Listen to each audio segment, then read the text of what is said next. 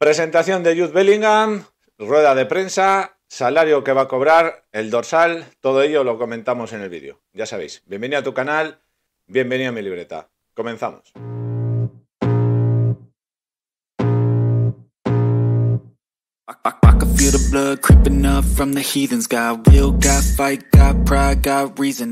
Hola a todos, bienvenidos al canal. Vamos a hablar de Jude Bellingham, el nuevo fichaje, el último fichaje del Real Madrid. Jugador inglés, bueno, ya hemos hablado mucho en el canal, eh, no os voy a descubrir mucho quién es Jude Bellingham, eso también es tema para otro vídeo, su forma de jugar, qué va a aportar, eh, qué posición puede tener en el equipo. Bueno, eso es tema que iré tratando en los próximos vídeos, pero primero vamos a hablar de, la presentación que ha tenido hoy. Bueno, se ha desvelado el dorsal que va a tener el jugador, que es el número 5, el de Zidane. Eh, según ha comentado el propio jugador, llamó a Vallejo y le dijo, oye Vallejo, mm, me dejas el 5 y Vallejo parece que, bueno, ha tenido el detalle, la gentileza de dejarle el dorsal 5 a Bellingham. Le han comentado, pues eso, eh, si viene todo por el tema de Zidane, en la elección del dorsal, y él ha dicho que, bueno, es a él le gusta el 22, pero como el 22 lo tiene Rudiger, pues ha elegido el 5, que le es un, es un número emblemático en el Real Madrid porque lo llevó Zidane, pero que vamos, en ningún momento quiere compararse con el francés ni, ni tiene nada que ver con eso. Rueda de prensa, bueno, ha habido preguntas algunas interesantes, algunas preguntas anda mucho la chapa con lo del número 5 y Zidane. Han, intentado, yo creo, conseguir un, titular. La prensa, en plan, quiero ser como Zidane o alguna porquería de esas, porque le han preguntado lo del dosal como tres o cuatro veces.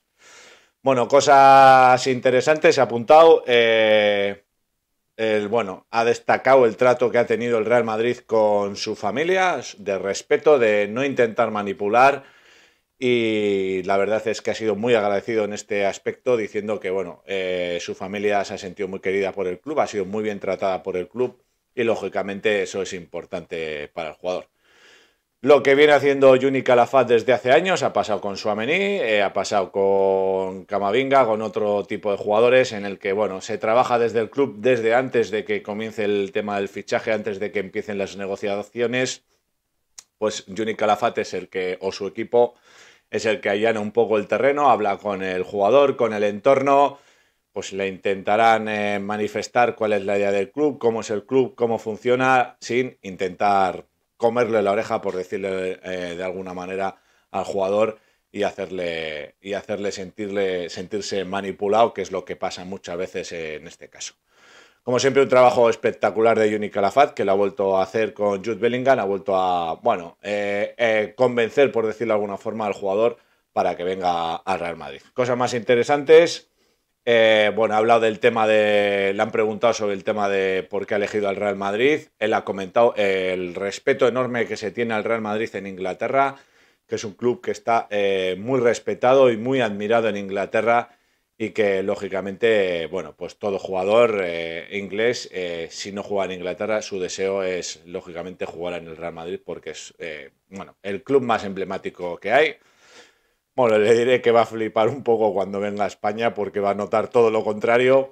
Va a notar que es el club más odiado. Yo creo que es algo que tiene que a jugadores pues como que vienen de Alemania, que vienen de Inglaterra, que donde el Real Madrid es tan respetado en Europa, venir a España y ver el odio que se le tiene, eh, yo creo que tiene que chocar bastante. Así que bueno, supongo que ya le habrán avisado de esto y el jugador inglés ha demostrado mucha madurez, por lo tanto no le va a sorprender. Más temas que le han preguntado, eh, el tema Modric Cross, que bueno, se va a juntar con dos grandes leyendas del Real Madrid, que, bueno, si puede ser un impedimento o puede ser algo positivo para el jugador.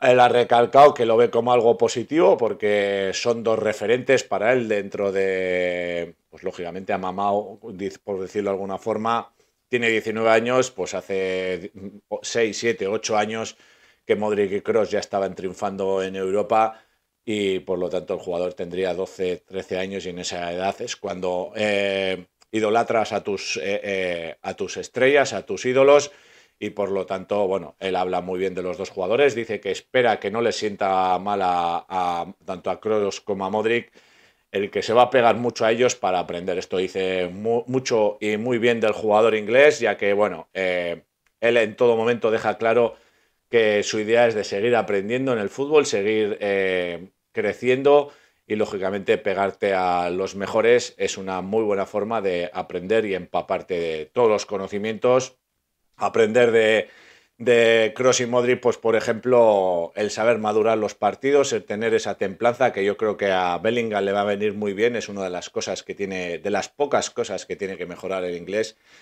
que es eh, aprender a tener esa calma que hay que tener en determinados momentos cuando el partido se tuerce y esperar al momento y, que te dé la oportunidad de ganar el partido. Esto se lo van a dar a Cross eh, y Modric, aparte del liderazgo que, yo creo que este jugador va a tener con los años en el Real Madrid.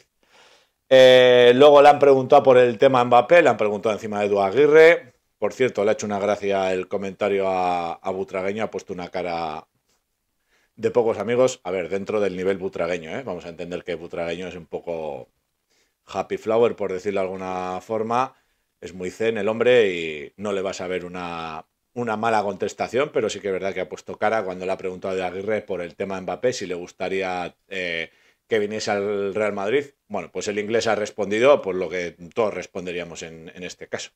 Hombre, pues si te viene Mbappé, le han preguntado también por el tema Kane y ha respondido lo mismo. Son dos grandes jugadores eh, por supuesto que si vienen al Madrid, eh, alguno de los dos o los dos, estaré encantado de que vengan porque son grandísimos jugadores y todo gran jugador que venga al Real Madrid, pues a todo jugador que está en el Real Madrid, pues le va a gustar contar con, ellos. Y por lo demás, la rueda de prensa no ha tenido mucho más. Eh, Sí que es verdad que deja eh, claro que es un jugador con mucha madurez, tiene 19 años, no se le ha visto nervioso en ningún momento, la rueda de prensa muy tranquilo. Se ve que tiene buen rollo con la prensa inglesa porque cuando le ha preguntado a la prensa inglesa sacaba una sonrisa, veía caras conocidas, cosa que no le va a pasar en España porque la prensa inglesa no es tan agresiva o no es tan no está tan influenciada y eso lo va a ver en Madrid. Ahí tiene, tiene cosas que va a tener que aprender en los próximos meses, que la prensa eh, española es como es.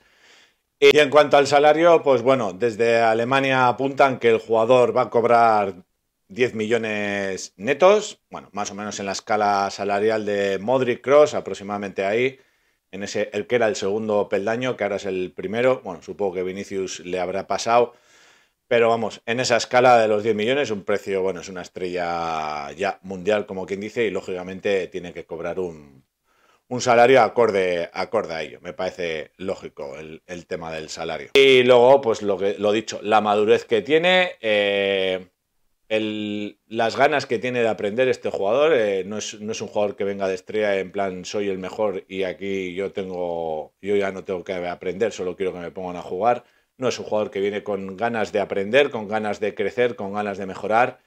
Y por supuesto, como os he dicho en otros vídeos, es un jugador que demuestra una personalidad y un carácter muy, muy bueno que le va a venir muy bien al, Real Madrid. Por lo demás, bueno, poco más que añadir a la rueda de prensa.